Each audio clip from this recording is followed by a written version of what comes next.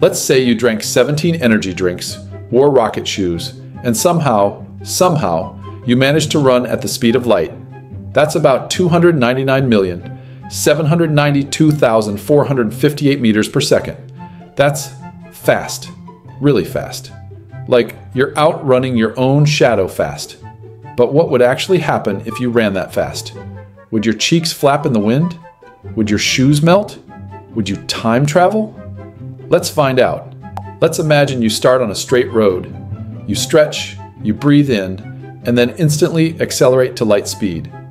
Problem number one you can't do that. You have mass, and mass resists acceleration.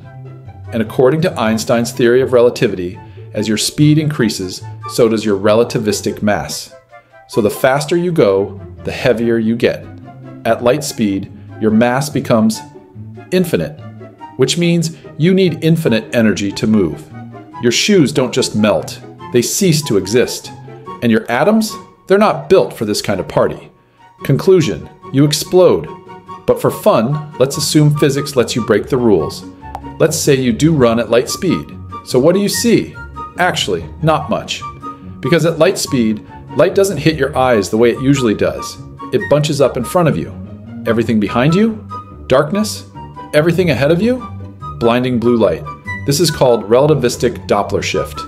Basically, visible light turns into X rays or gamma rays. So as you run, it's like sprinting directly into a microwave laser beam from hell. And since light can't outrun you, you're technically not seeing anything new.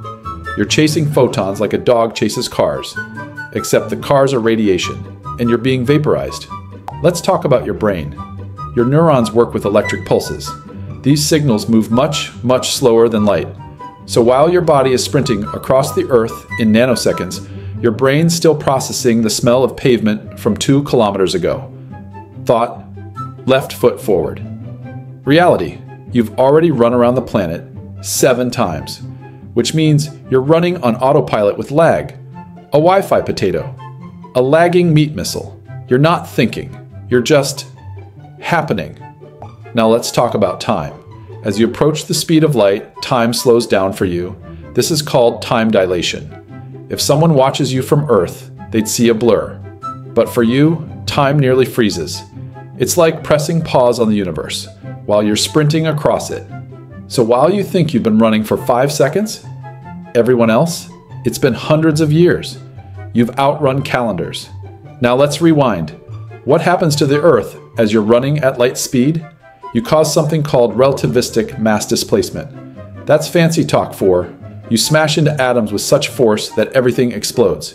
Even if you miss people, your wake of kinetic energy causes earthquakes, shock waves, maybe even planetary damage.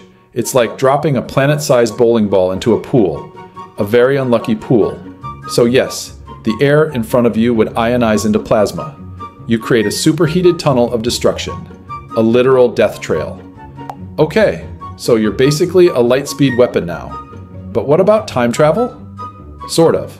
If you could run at light speed and stop, you'd land far into the future. While only seconds passed for you, centuries passed outside. Your friends are long gone. Your TikTok account? Legendary. Your plant? Dead. Congratulations. You're the Forrest Gump of time travel. Big question Can you stop? Short answer No. Why? Because your momentum is nearly infinite. To stop, you'd have to absorb infinite energy, which means you'd need a wall built from God Himself. If you hit anything, even a grain of dust, you don't stop, you detonate. A collision at light speed turns you into a small nuclear weapon. So, what happens if you run at the speed of light? Your mass becomes infinite. You destroy space time. Your brain can't keep up.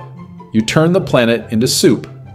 You get to the future alone and you explode if you stop. Cool idea. Terrible plan. Final verdict don't run at the speed of light, walk instead. It's healthier.